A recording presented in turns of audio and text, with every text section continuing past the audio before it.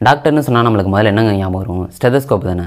அந்த ஸ்டெதஸ்கோப்புக்கு பின்னாடி ஒரு மிகப்பெரிய கதையை ஒழிஞ்சிருக்குதுங்க ஆயிரத்தி எண்ணூறுக்கு மேலையெல்லாம் பார்த்துட்டிங்கன்னா டாக்டர் வந்து ஹார்ட் பீட் சவுண்டை கேட்கணும் அப்படின்னா நம்ம நெஞ்சுக்கிட்ட கொண்டாந்து தான் காதை வச்சு கேட்க முடியும்.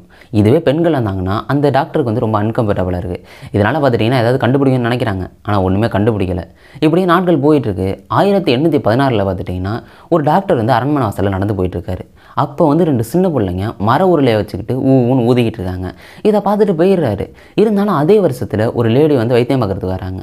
அப்போ வந்து போய் ஹார்ட் பீட்டை கேட்கறதுக்கு வந்து ரொம்ப அன்கம்ஃபர்டபுளாக இருக்குது அப்போ தான் அவருக்கு வந்து ஒரு யோசனை வருது. அந்த சின்ன பிள்ளைங்க வந்து அந்த உருளையை வச்சு விளாண்டுட்டு இருந்தாங்களே.